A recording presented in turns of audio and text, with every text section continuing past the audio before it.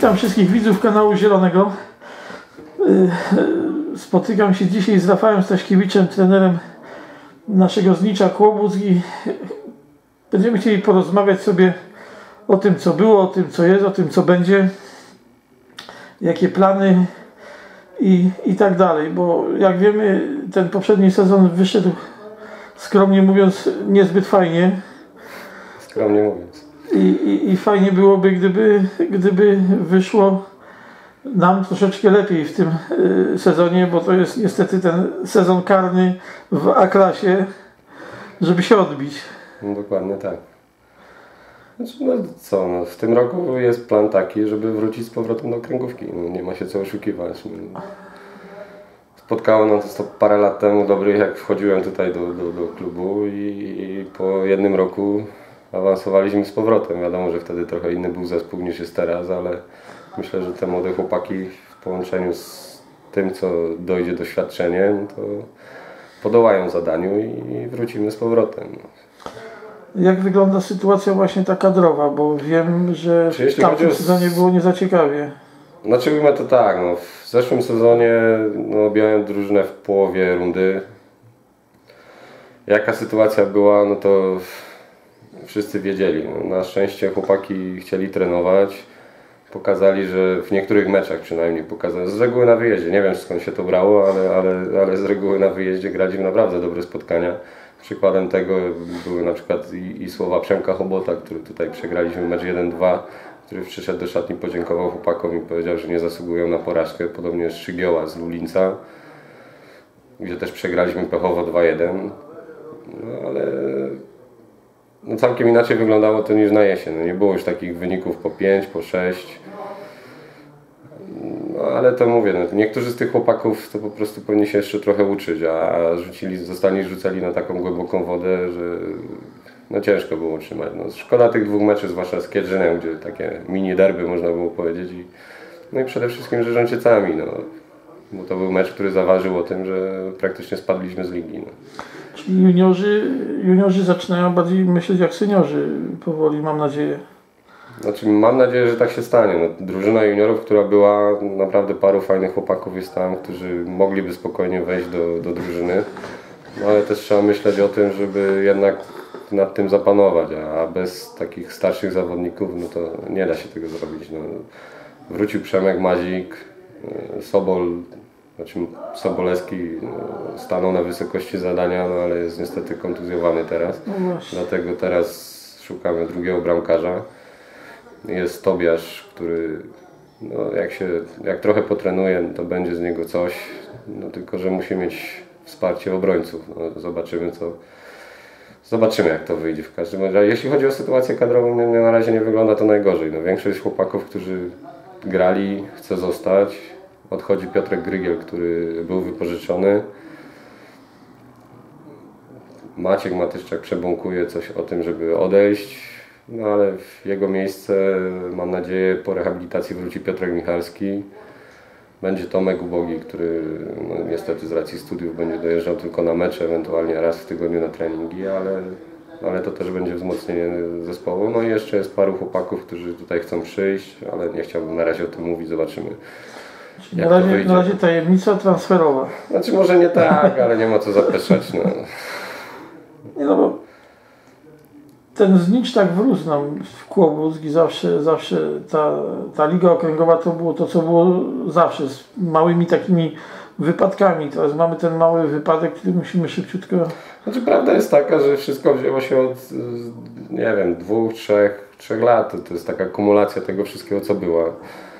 No bo sytuacja, która była z byłem już prezesem, y, no był Andrzej Wróblewski, który utrzymał zespół, no ale niestety no, większość to była chłopaków, tak jak my to mówimy w żargonie piłkarskim, najemników. No i, i niestety odeszli. No, potem stało się to, co się stało, zespół się rozleciał, zostali sami młodzi, którzy nie wiem, może potrzebowali właśnie kogoś takiego, który był związany z klubem, tak jest Maniek, tak. Ja wróciłem, że po prostu poczuli to, że, że można Że coś to do tego zespół, klubu. a tak. nie, a nie jakaś zbieranina. No, dokładnie. I no zobaczymy. No. Celem jest awans. To jest, to jest główny cel. Nie ma, się, nie ma się co oszukiwać, bo w tej lidze, którą teraz ZPN stworzył, no to jest o połowę, że tak powiem, łatwiej, tak mi się, mnie się przynajmniej wydaje, zwłaszcza, że ten poziom sportowy spadł no, dwa, trzy poziomy, jak, jak nie lepiej, bo no tak jak mówię, no, wchodząc tutaj do zespołu, jak miałem 16 lat, no to nie było tak, że wchodziło 5, 6, 7, tylko wchodził jeden, dwóch chłopaków. No, I jednak no, w tą piłkę potrafili grać, no, patrząc, no, Tomek grał w trzeciej lidze, mi gdzieś się tam udało ten Raków zahaczyć. Był, było paru chłopaków, którzy grali po Działoszynach czwartych ligach i tak dalej. No, Piotrek Zygier, który też grał w drugiej lidze, w Śląsku załapał się, który był wtedy w Ekstraklasie. Także no, trochę inne te warunki były niż jest teraz, no ale trzeba, tak jak to mówią, no, z tego co jest trzeba coś uzbierać. No i trzeba odbudować legendę.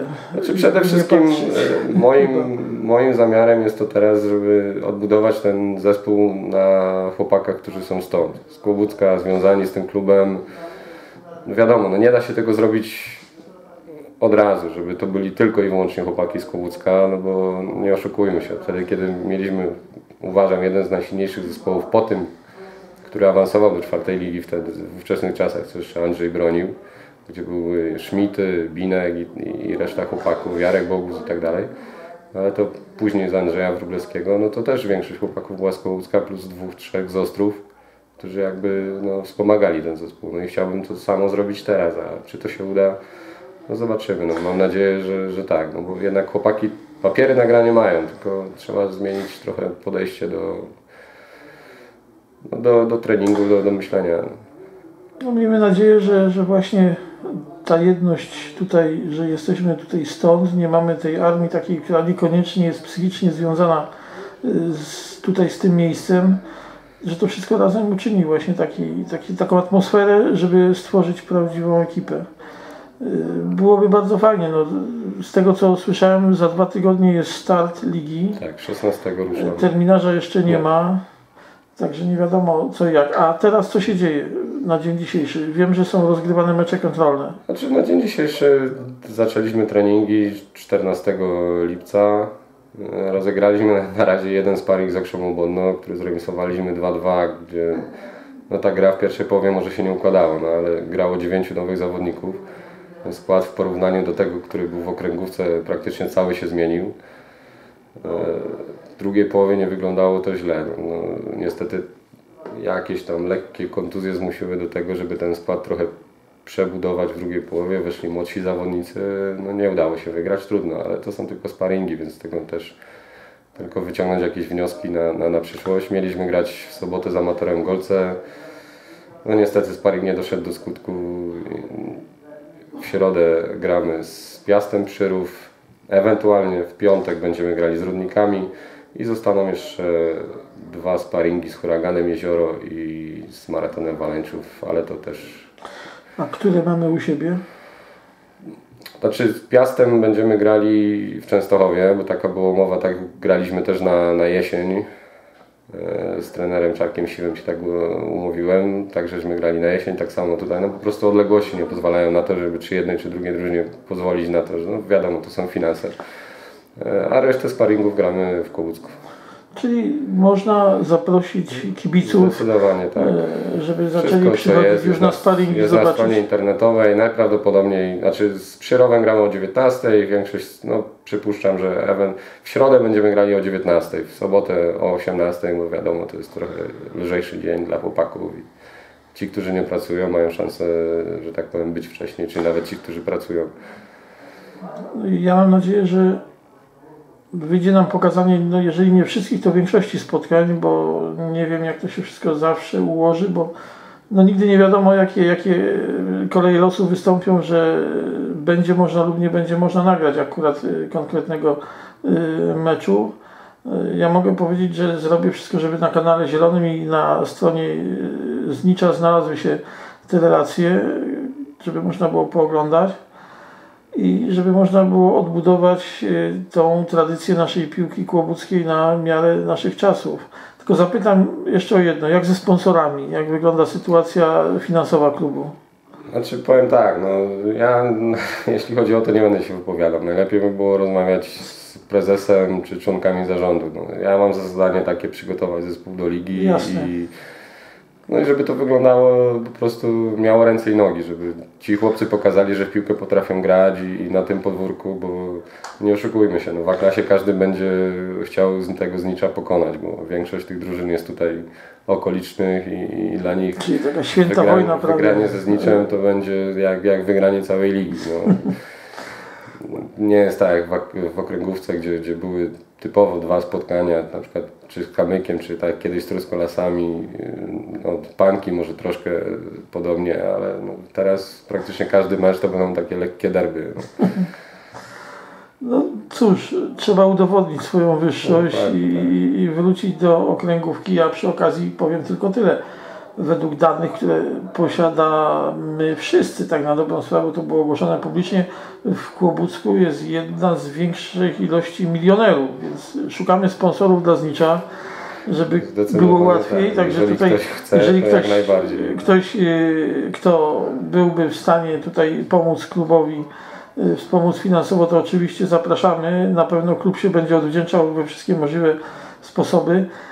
Y, Ja mogę powiedzieć tylko tyle. Za chwilę jeszcze będę próbował, jeżeli się uda, y, jakiś fragment treningu y, nagrać i żeby go udostępnić, żeby pokazać, że chłopaki się już zbierają, że już jest. Chyba, że nam tutaj pogoda przeszkodzi, bo wszystko możliwe, bo się tak zbiera na burze strasznie. Na ten moment powiem tak, dziękuję za, ten, za to spotkanie. Pierwsze, ale nie ostatnie. Czy jeszcze wejdę w słowo, bo wiadomo, zlicz to nie tylko seniorzy. No, będziemy mieć też grupę juniorów młodszych, którzy naprawdę fajnie się zapowiadają. E, Większość chłopaków przeszło z tramkarzy starszych, którzy właśnie wywalczyli drugie miejsce w e, wojewódzkim finale piłkarska kadra czeka. Będą trzy grupy młodzieżowe, cztery w sumie, bo Orlicy, którzy będą grali w Śląskiej Regionalnej Piłce, e, Regionalnym Okręgowym Związku. Będą Żacy, będą Młodziki, no i oczywiście nasza Akademia Piłkarska, która funkcjonuje cały czas i na razie z tego co rozmawiałem z trenerem Rogaczewskim w okresie wakacyjnym cały czas funkcjonuje, więc można tutaj przychodzić i, i zapisywać młode pociechy, bo im więcej tym lepiej. Wiadomo, że Jak to mówię, od przybytku głowa nie Dokładnie. boli, a jest z czego wybierać wtedy. No tak, mówię, no, je- jesteśmy, mimo tego, że gramy w A-klasie, posiadamy chyba największą bazę grup młodzieżowych w całej, w całej lidze. No, nie, nie jestem zorientowany dokładnie, ale z tego co tak orientny, z nawet mojej gry ostatnio w amatorze Golce, no to, to raczej nie wiem, czy ktoś ma więcej niż dwie. Tylko teraz musimy wszyscy chyba, nie tylko sam klub, ale tak jak mówię, pomóc, żeby, żeby te pociechy rozwinęły skrzydła i, i stały się wartościowymi zawodnikami. Yy, Okręgówka, być może później coś więcej, a również będzie nas cieszyć każda, yy, nawet transfer do wyższego yy, gdzieś Przede wszystkim klubu. chcemy tu na dzień dzisiejszy to wszystko ułożyć zarówno i organizacyjnie i sportowo, żeby w końcu ten klub stanął na nogi tak jak było to kiedyś, żeby nie było takich sytuacji jak, jak było ostatnio, gdzie ten szum medialny wokół klubu nie był zbyt dobry.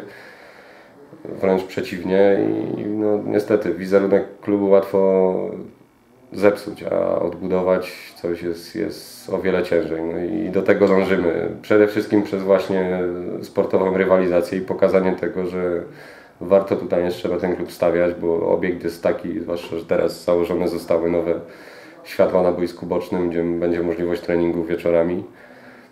Mm. No obiekt jest na trzecią ligę. Jak zespoły, które tu przyjeżdżają, to twierdzą nawet, że spokojnie można by mecze trzecioligowe czy nawet drugoligowe rozgrywać, ale No, trzeba do, do tego, tego dojść. trzeba do tego dojść.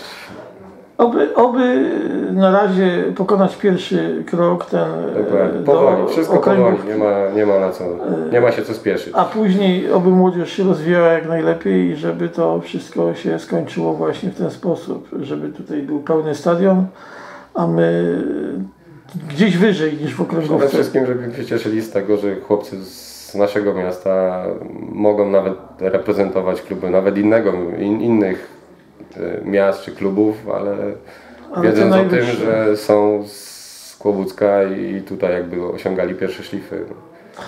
Nic, ja dziękuję za dzisiaj Ja też dziękuję bardzo. i tak jak mówiłem, no myślę, że będziemy się jeszcze nie raz spotykać. Mam taką nadzieję. Myślę, że po meczach na gorąco również. A dzisiaj to już wszystko. Dziękuję i zapraszam na kolejne spotkania. Dziękuję Do zobaczenia. Dziękuję. Dziękuję.